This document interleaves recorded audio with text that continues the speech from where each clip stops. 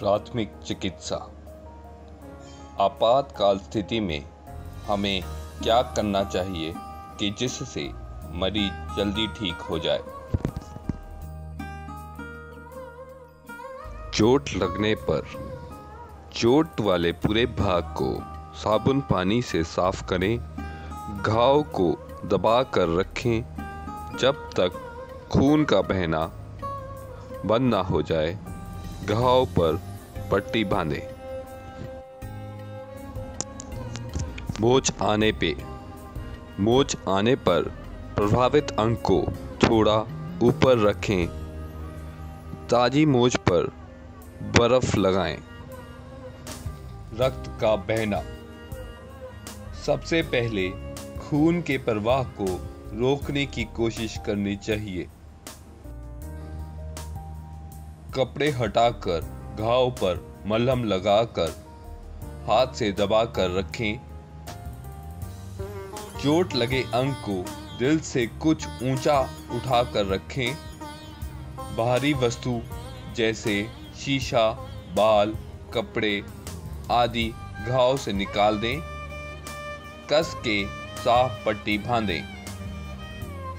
हो सके तो मरीज़ को किसी रजाई या कंबल में लपेट दें जिससे उसके शरीर की गर्माई बनी रहे। यदि खून पट्टी से बाहर निकलता नज़र आए तो उस पर गौज या रुई रखकर दबाकर एक और पट्टी बांधें। हाथ या पैर से खून का प्रवाह रोकने के लिए टूटने के की मदद भी ली जा सकती है। यह एक रबर की पट्टी होती है जिससे खून की नलियाँ को दबाया जा सकता है, इसे केवल कुछ समय तक ही लगा कर रखें और खोल दें और फिर बाँध दें। यह ज़रूरी है कि आप चोट लगे भाग को कम से कम हिलाएँ और मरीज़ को शीघ्र से शीघ्र डॉक्टर सेवा प्रदान करवाएँ।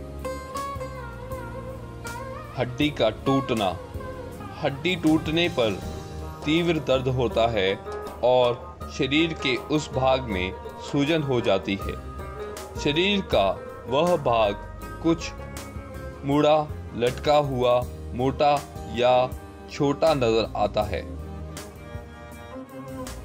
प्रभावित अंग का उपयोग करने से कठिनाई होती है।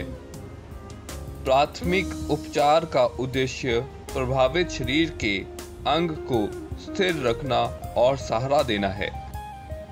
चोट लगे हिस्से को चपटियों या पट्टियों से स्थिर रखना है। पट्टियाँ न मिलने पर आप दुपट्टा, रुमाल, लंबी ठोस वस्तु से हिलने से बचाएँ। टांग की हड्डी टूटने पर आप दोनों टांगों को बांधकर स्थिर करें। हाथ की हड्डी टूटने पर बाजू को 90 डिग्री तक मोड़े और कंधे से लटके त्रिकोण स्लिंग से बाँध दें। जल जाने पर जले घाव को ठंडा होने दें। घाव को साफ़ ठंडी पट्टी या कपड़े से ढक दें। छालों को दबाए या फोड़े नहीं। दर्द निवारक गोली दें और अस्पताल तक पहुंचाएँ। बिजली का झटका। पीड़ित को छूने से पहले बिजली को बंद करना याद रखें। सांस लेते हुए मरीज़ को रिकवरी पोजीशन में लिटाएँ। नहीं तो उसे कृत्रिम सांस दे। डॉक्टर की सहायता